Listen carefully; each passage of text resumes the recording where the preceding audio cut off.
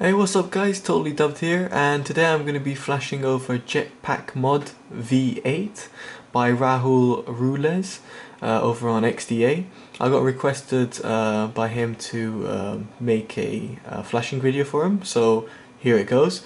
It's a um, XWJW1, that was hard to say, 2.3.6 uh, based ROM.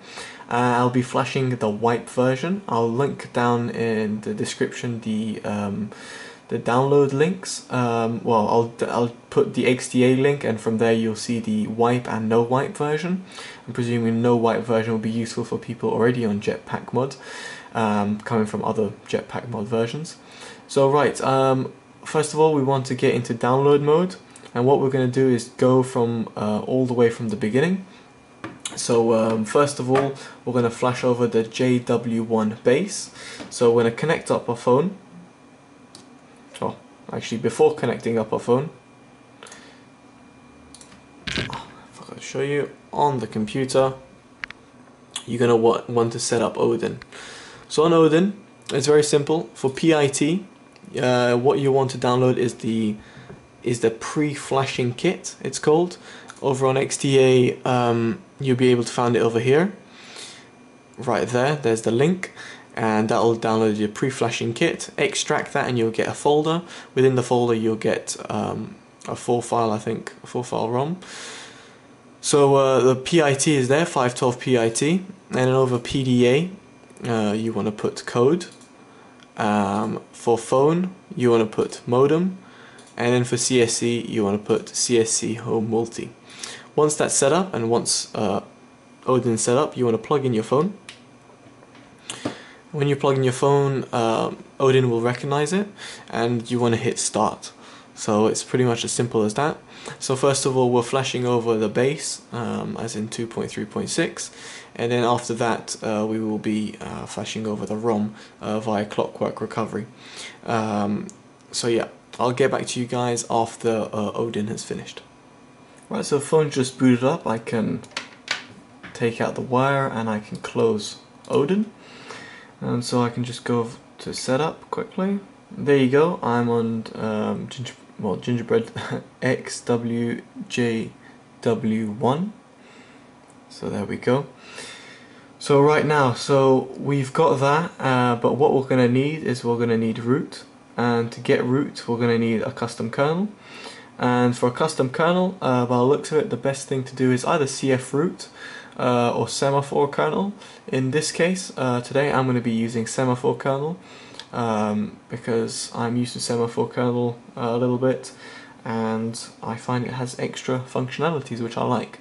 So you can see I can turn off the phone and what we're going to do is download um, semaphore 2.1.1 and we're going to go into download mode and download mode as we did before. So now we're going to go back up. You can go in your pre-flashing kit again, open Odin, and go into PDA, and find where you put your semaphore kernel. In on my for my case, in my case, there we go. It's on the desktop, so we can open, and there you go. Now it's on uh, the PDA. So now we want to connect up the phone, and there you go. Phone is connected and now we can hit start. This should be super quick. And bang, your phone has now a custom kernel on it and semaphore 2.1.1. So now we can go back to the phone. Right, so now it's booted up. We can disconnect the phone and we can close Odin just to show we're on semaphore kernel.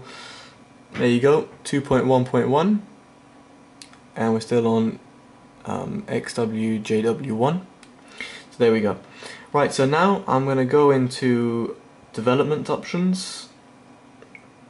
Well, USB debug mode. I'm just going to tick that just to make my life easy and click unknown sources.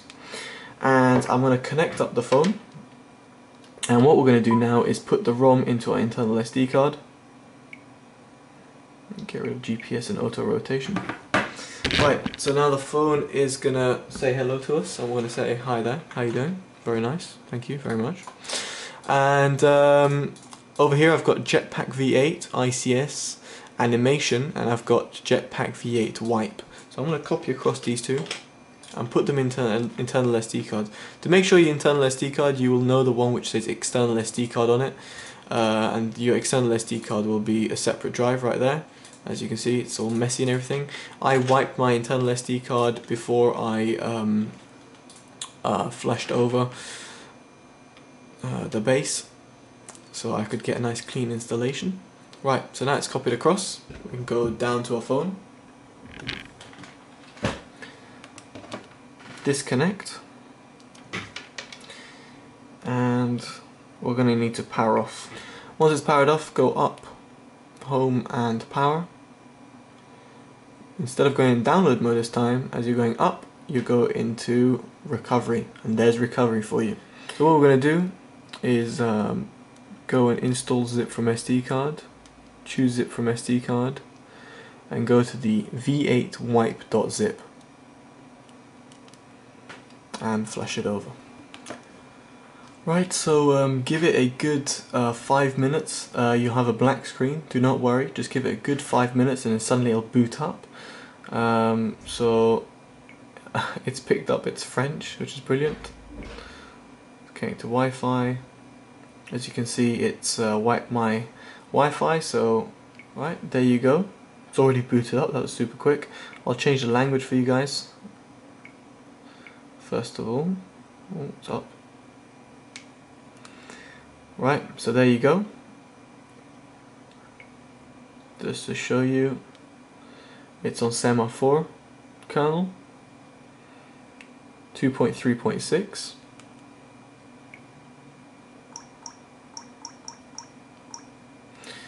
You can see my PDA is on JW1, my phone is on JVT, my CSC is unknown at the moment.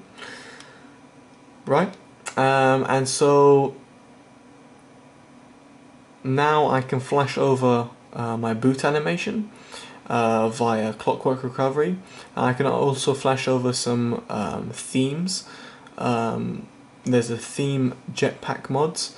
Uh, I will link that down in the description as well. Um, it's you can customize it for to look like ICS and um, it looks pretty cool and looks really nice and I'm pretty sure I'll try that out. So yeah, I hope you've enjoyed that vi uh, this video guys. Uh, please do rate, comment and subscribe and um, yeah, take care and um, yeah, see you guys. Bye bye.